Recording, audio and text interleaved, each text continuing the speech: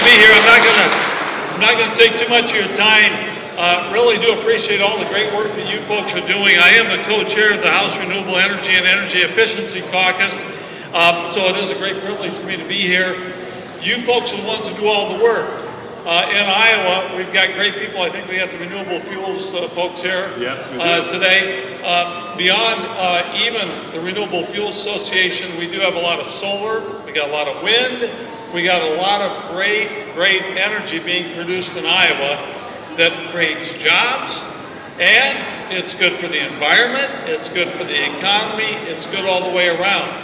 I know you have a lot of challenges before you going forward, but it's our job in Congress to make sure that we set the environment right for you, that we have the right policies. I was just talking to the solar folks here, the investment tax credit, when we get that through.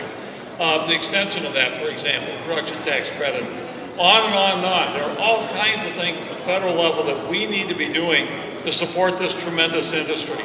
Because what you folks do for our environment, what you do for jobs, what you do for our, our economy more generally, and really, quite honestly, not to take anything away from Canada, all right, but, uh, but to keep America competitive. That's what this is about as well, folks. So thanks so much. I was told I had a minute to two minutes. I think I'm about there, and I really appreciate all the great things you're doing. I'm going to stop by and say hi to as many people as I can before I have to go over the floor. Thanks, everybody. Thank you, you. Thank you very much.